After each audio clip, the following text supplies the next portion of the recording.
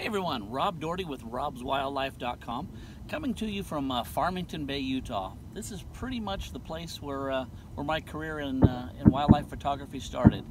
Uh, years ago I was uh, on Flickr and I, I found the bald eagles that were out here and uh, came out here and, and, and, took pictures of them and that's, that's basically what inspired me and, and, and kind of launched my career in, in wildlife photography and the tours. So back out here and I just wanted to give you some tips tips that I never had when I was starting out. And uh, it just, uh, I'd like to save you guys some, some time and, and trouble of trying to figure things out on your own. And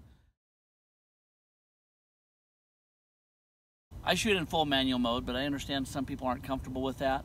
And uh, so I recommend uh, exposure value, the TV button on Canons. Um, honestly, I, I, can't remember what uh, what Nikon calls it, but it's it's the exposure uh, value. You care about the speed. Uh, you, you, don't want a blurry picture. You don't want an eagle or an owl or um, any, anything else blurry. You want it tack sharp. And the only way you're going to get that is, is with a higher shutter speed. So I, I've been out with people and, and, and they swear by uh, the aperture value. Well, if you're shooting at a 5.6 or 6.3, that's going to probably drive your uh, drive your, your shutter speed way down and, and thus resulting in, in some blurry shots. So if, if you're not going to go full manual, I, I, suggest for shooting wildlife, uh, use the exposure value. And, and you know, for birds in flight, um, taking birds taking off, stuff like that, I recommend uh, like a thousand, maybe 1250 if, uh, if, if the lights permit. And with, with, with today's cameras, you can pump that ISO quite a ways up, and, and you're not going to get uh, get a lot of uh, grain and and, uh, and noise out of that. So that's probably one of my my, my biggest tips as as far as is a camera setting. Uh, we'll, we'll, get into my favorite here at the end of this video. It's changed my life and it's, uh, it's, it's changed a lot of people that I've taught over the years. Shooting from a blind like this, if you're shooting from birds, you're going to get them in a lot closer. They're not going to get spooked.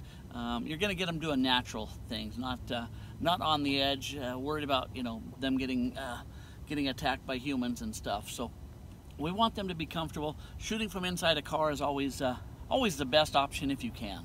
Um, if you can't shoot from inside, maybe uh, shoot from the other side of the car. So, you know, it's, it's breaking up your silhouette and, and just, uh, just you're just not right there in the bird's face. Being patient, especially when it comes to bird photography. Um, you can you can sit uh, on an eagle for hours and hours, and uh, you know he may not ever take off, but sometimes you may roll up and, and he'll, uh, he'll be there for a couple minutes and take off. But you have to be ready. Um, you, have, you have to have him pre-focused, finger on the shutter button, just sh shutter button, and just ready to go. So very, very important uh, to exercise patience and, and don't, don't do things to disturb the animals and, and birds um, to, to get them to fly or get them to do things.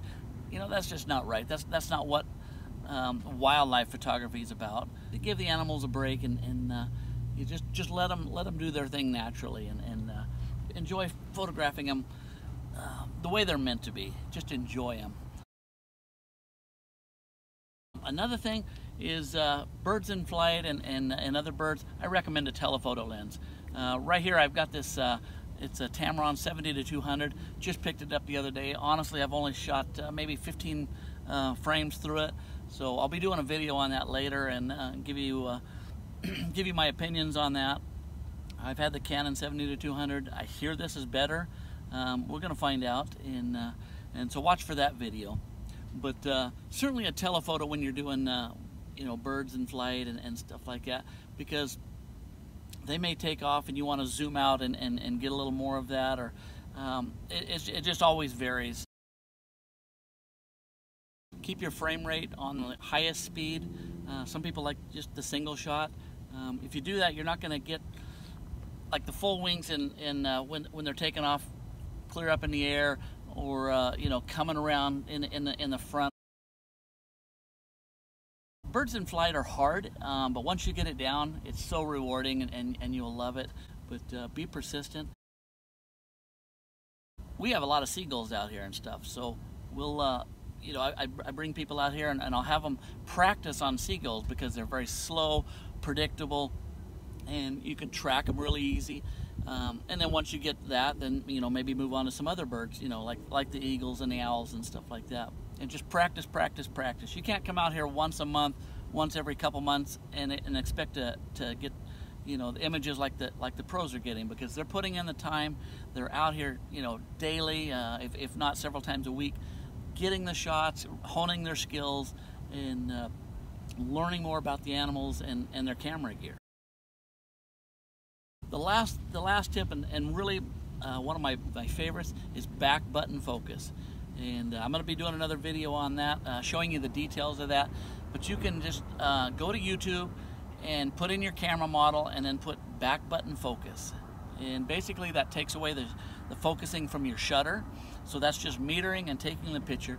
But your focus is 100% on, uh, on one of the back buttons here. Let's see if I can show you here. Basically, you know, I, I use the button right there. And uh, I went from, you know, which wasn't bad. I, I, I estimate about 75% in focus keepers. Um, maybe not the, the shot I want, but they would be in focus. Uh, so 75%, not really a bad rate.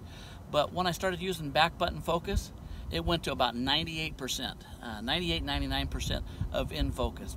I mean, very, very, I'm shocked if I get an out of focus picture um, because I'm using back, back button focus. So watch for that video on that, uh, YouTube it and, and, and find out, you know, how to do it on your camera. Uh, but the, the most important thing, I've, I've seen people do that, they'll, they'll set up the back button focus and they won't disable the shutter focus. Um, that really does no good at all when you're holding the back button focus down, you can pan, stay with the animal, uh, or the bird uh, in this case, and uh, it just stays right on it. You've locked the focus on, and, and you, will you'll, you'll get so much uh, more percentage sharper images. So back button focus, it's the key. If you have any questions, just uh, put them in the comments below and, and I'll, I'll be happy to, uh, to answer those for you or shoot me an email. I love to answer questions, help people um, kind of get a leg up because it took me years to figure out all this stuff and the camera setting. I didn't have anybody um, helping me uh, back then. YouTube wasn't uh, wasn't what it is today with tips and tricks and, and everybody wanting to share stuff. There you have it from uh, Rob Doherty, robswildlife.com. Check me out. I do uh, I do images, photo tours, workshops. I got an Alaskan brown bear uh, workshop coming up in June of, of 2018 here. And uh, it's going to be fantastic. Katmai National Park, uh, just, just an incredibly beautiful place. So check that out. And uh, any other questions you have, um, maybe stuff I've covered, stuff I haven't covered, just go ahead and throw it in comments. I'd love to answer your questions for you. So you have a great day. Thanks a lot.